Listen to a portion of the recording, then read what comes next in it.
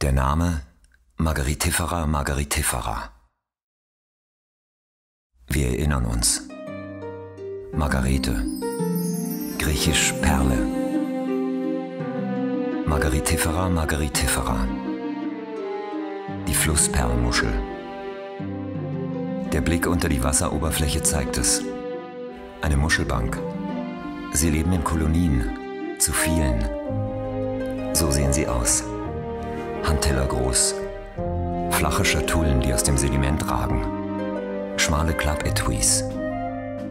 In leichter Schräglage. Doch aufrecht. Unverrückbar.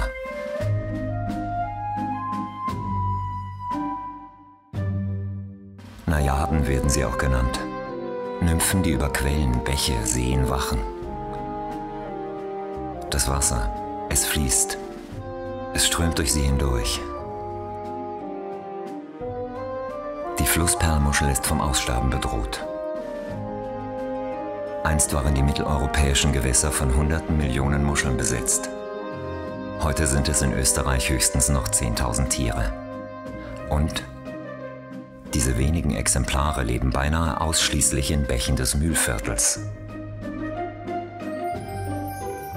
Ihre hohen Ansprüche an die Wasserqualität machen sie verletzlich.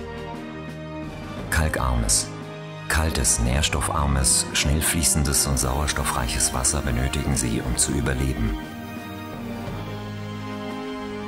Alt können sie werden. Sehr alt. Weit über 100 Jahre. Margarete, wir erinnern uns.